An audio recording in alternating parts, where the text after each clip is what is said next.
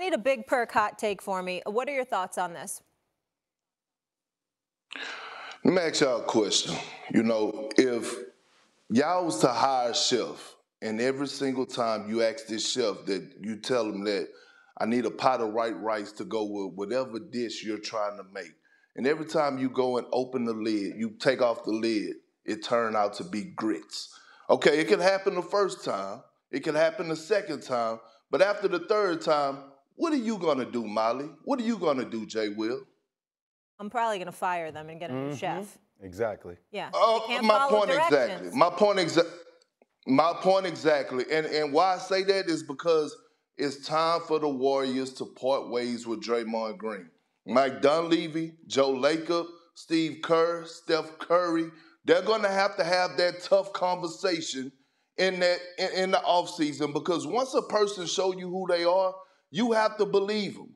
And like we say about a lot of old people, they're stuck in their ways. Well, Draymond Green is a veteran and he's stuck in his ways. When you look at the Jordan Poole incident, we saw what happened with that. Steph Curry and Steve Kerr, they tried to, ha- they had Draymond Green's back. Okay, let's take it to this year. What he did with Nurkic, just the suspension. Steph Curry had his back. Steve Kerr had his back. Draymond Green talked about him and Steve Kerr crying, you know, sharing the moment. Okay, all of a sudden you get here on the back-to-back on a night in a must-win situation with no Jonathan Kuminga, and Draymond Green gets ejected. Then we watch Steph Curry, the emotions, right? Look how emotional he was. He's exhausted. The fan base of Golden State is exhausted. Steve Kerr, he's exhausted, and rightfully so. Draymond Green is not going to change. And do you want it to be to the dispense of your franchise, Mr. Golden State? the Bay Area himself and Steph Curry? Absolutely not. And it's going to be a tough conversation, a hard conversation, but it's time for the Golden State Warriors to uh, cut ties when it comes down to Draymond Green. Perk, I agree with you. I, I, wanted, I wanted to address something very quickly that happened on the show yesterday. And Steve Kerr, the back end of his comments, not sure if they were directed towards me, but I took it as it was. So yesterday, Big Perk, I was getting text messages from people whose opinions I value within the league that were starting to question Steph Curry's leadership ability and ultimately the legacy of Steph Curry. With the way things got put out there into the world, people interpreted that I was saying that it ultimately was going to affect the legacy of Steph Curry when that's not what I said. I actually dispelled that later in the show. Can, can I help out for one second sure. here? And I don't want to interrupt your monologue. So basically, Perk, Jay's not going to say it, but a clip was taken and it was out of context. They just took one section of the clip. It wasn't it wasn't his his full statement. It wasn't mm-hmm. everything that Jay said, and it was taken out of context essentially and then that's where it went viral and everything went off and that wasn't even his actual take so we put him in a poor situation i appreciate that Ma. i just wanted to clarify big perk you know no, sometimes well, in the media fault. game that's how things it, it happen. happens to us as well. Agreed. Just as it does to other people. We're all big boys, so we, we, we come up on TV and we talk about it. We address the hard things, yeah. right? Speaking of addressing mm-hmm. hard things, now let's get back to this issue here. Thank you, Molly. I yeah, appreciate well, that. it happens. I thought yesterday's video by Draymond, Big Perk, was embarrassing. It was dismissive. His tonality was that of no contrition. I thought it was somebody who seems like he's above the organization. So, to your point, I think everybody is culpable there of enabling that. And I, and I know that this is the same Draymond Green where his actions led to them winning championships, and I get that. But the reality is that his talent is no longer bigger than the problem. They're not winning championships, Big Perk. They're fighting for a 10th seed right now. And to your point, if you're Mike Dunleavy, you're looking at this situation and you're saying, okay, Draymond Green feels like he is Teflon, that he has won championships, so nobody's ego is more demonstrative in this organization than Draymond Green. But he's not going to change his ways. And imagine being a player in that locker room, perk. You imagine Draymond coming in the locker room, but guys, that's my fault. That's going in my right ear, that's going out the left. There's nothing you can say, Draymond that's going to make me think that you actually mean it.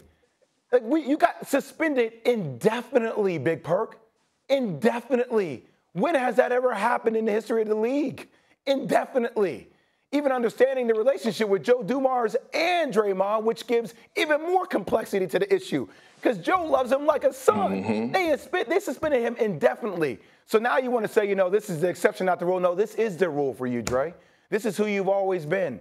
So the talent is no longer bigger than the problem, and Dre is the problem. So I agree with you, man. It's time for them to part ways when the season's over. You're obviously going to fight for a play-in tournament, but Steph Curry, 30, deserves way more than what Dre has given him. It's only right that Joe Lacob and Mike Dunleavy do their job this offseason and surround him with the necessary pieces so they could get back to competing and also make sure that they uh taking taking taking mindset that they need to protect his peace.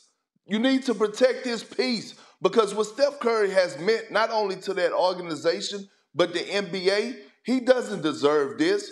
And to your to some of the people who was texting you, Jay, you need to block them right now. Block them. They don't need to text you no more. Okay, they don't need to text you no more. That's the second thing. But back to Draymond, it's to the point now where you take a whiteboard and you look at the pros and you look at look at the cons. The cons are outweighing the pros, and that is the deciding factor, and that should be the deciding factor when it comes to the Golden State Warriors this offseason. And we're going to talk about this perk coming up, but it, it, does lead to a very interesting scenario with the Golden State Warriors, with the way that Andrew Wiggins has played, with Klay looking for a new contract.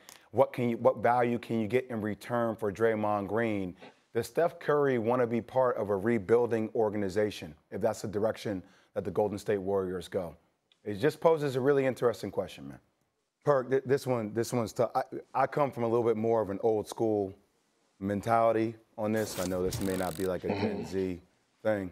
Um, you know, I, I think both Steve Kerr and Steph need to change their tone when it comes to talking about Draymond. The, the, the tone, all, the tone sounds exhausted, which it is. I understand that. But I want to see Steve Kerr visibly angry about it. Like I know Steph under is angry internally, but it feels as if Dre, and I said this before, Perk, feels that he's Teflon. That even in his apology, it was a very laid back, passive, dismissive type of apology. And it almost feels as if you're waiting for Steve Kerr and Steph to publicly say, yo, that's not okay. I'm tired of it. We're all tired of it. There are other issues that we need to address, but even hearing him say for unforgivable, it didn't feel like that carried that type of energy, Perk. You and I are boys, man. Mm-hmm. You would hold me accountable, Perk. You would say tough things to me. Like I've had players that would say tough things to me. Coach K would say tough things to me. Now, this is by no means questioning the coaching ability of Steve Kerr at all. But it does feel like it's this, well, you know, it is what it is type of mentality, and I'm checked out. And I, I we understand that. But it, it just doesn't feel like the tone for both Steve and Steph is where it needs to be with the weight this situation carries, considering the history of how this has occurred. Just me, Perk, on how I feel about it. Maybe it's my personality that I feel like I would have maybe matched that energy publicly. Um, but it, it, does feel like the tone needs to change because this is a similar tone we've been having for a while now, and it's not showing any effects.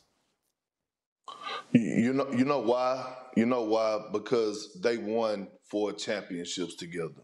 They built the dynasty, okay? And what end up what end up happening is this, Jay, is that emotions come involved, okay?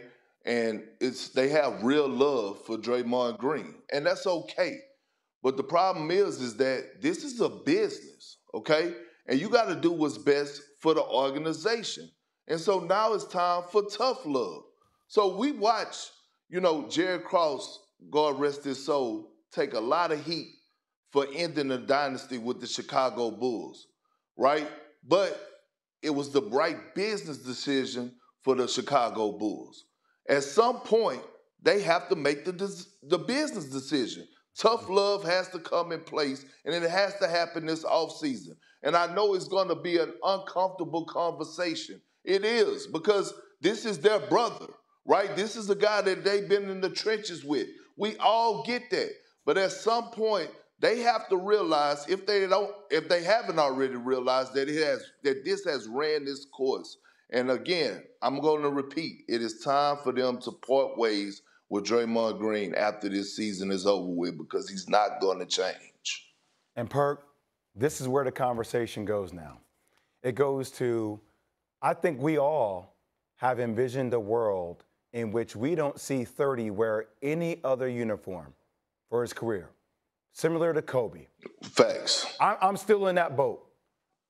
But it's a really big decision for Steph because is he going to trust management to build a new franchise around him? And can they do that?